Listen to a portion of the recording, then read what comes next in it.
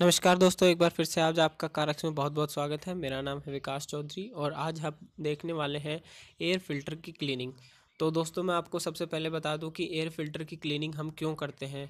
आपको एक लाइव, एक ऐसा एग्जांपल, ह्यूमन बॉडी का एग्जांपल देता हूँ तो कि एयर फ़िल्टर को क्लीन कैसे किया, क्यों करना चाहिए। तो दोस्तों मैं आपको बता दूँ, अगर आप अच्छे से सांस लेंगे तो आपकी बॉडी हेल्दी रहेगी। इसी प्रकार बाइक की अगर आपकी अच्छे से ब्रीथ करेगी तो आपका इंजन भी हेल्दी रहेगा। इन द सेंस हेल्दी कहने का मतलब है, आपका इंजन अच्छे से फ्यू फ्यूल को बर्न करेगा और फ्यूल इकोनॉमी भी आपकी अच्छी आएगी। तो सबसे पहले हम देखते हैं कि एयर फ़िल्टर को क्लीन करने के लिए क्या करना पड़ेगा। एयर फ़िल्टर को क्लीन करने के लिए इसके जो साइड वाइ वाइजर्स हैं, जो भी बोलते हैं इनको साइड पेनियर्स बोलते हैं साइड पेनियर्स को रिमूव कर लेते हैं। उसके लिए हमने जो भी हमने स्टार है, star head screw screwdriver का हमने इस्तेमाल किया है। उससे हम खोल लेते हैं इसको। और मैं, हमारे दोस्त विश्वास सिक्का का बहुत बहुत धन्यवाद करना चाहूँगा, जिन्होंने हमारी वीडियो बनाने में बहुत बहुत मदद करी है। हम जैसे कि इनको खोल रहे हैं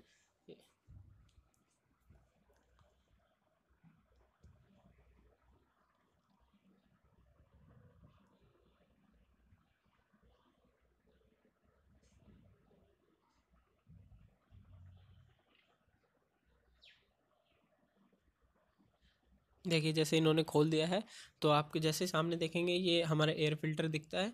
एयर फ़िल्टर को अभी मैं आपको दिखाता हूँ कि कैसा है। ये देखना फ्रंट से ज़्यादा गंदा है बैक से थोड़ा साफ़ दिख रहा है। देखिए फ्रंट से बहुत ज़्यादा गंदा दिख रहा है और बैक से ये थोड़ा सा साफ़ है और वो एयर फ़िल्टर रखने के लिए जो स्लॉट होता है, वो है और वहाँ पर जाली लगी हुई है ताकि एक एक्स्ट्रा प्रोटेक्शन ऐड करी जाए, ताकि कोई ज़्यादा डस्ट पार्टिकल्स अंदर ना जाए। तो हमने एयर फ़िल्टर क्लीन करने के लिए कंप्रेस्ड एयर का यूज़ किया है और कंप्रेस्ड एयर से हम एयर फ़िल्टर को क्लीन कर लेते हैं।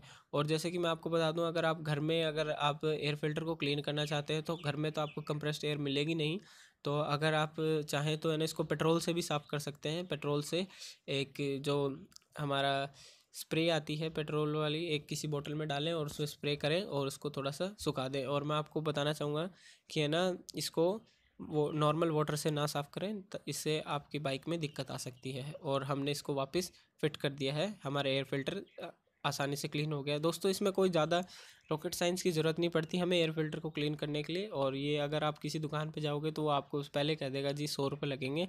अगर आपको पैसे बचाने हैं या फिर खुद काम करना है अपनी बाइक के बारे में, इतना तो आप खुद भी कर सकते हो, इतनी ज़्यादा वो नहीं है।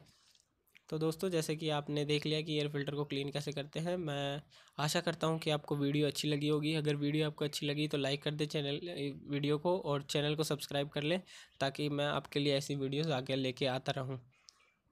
Thank you